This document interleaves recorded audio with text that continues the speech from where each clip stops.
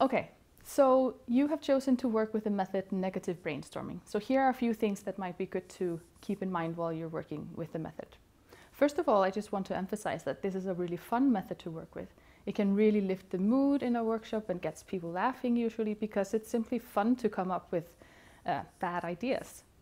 Another really good uh, attribute of the method is that it's really good for creativity because once you get people thinking in different ways than they might normally do and then flip it into a good idea, they might have come up with something entirely different than if they had just done, for example, a normal brainstorming. So in that sense, it's, it's a really useful way to get people to think in other direction that, that they would normally do.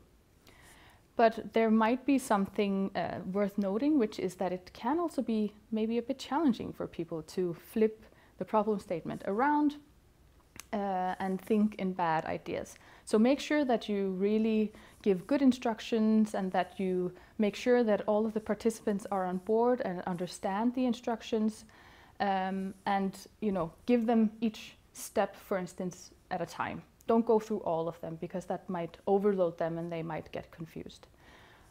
And also the you know the first step of the method is to kind of have the problem statement and flip it into a negative problem statement. For instance, if the problem is how can I get my teenage daughter to be less messy, then you flip it into a negative problem which is how can I get my teenage daughter to become more messy? And in that sense it becomes easier for the participants to uh, produce solutions to the bad problem or the negative problem, which might be to remove all of the trash bins from her room.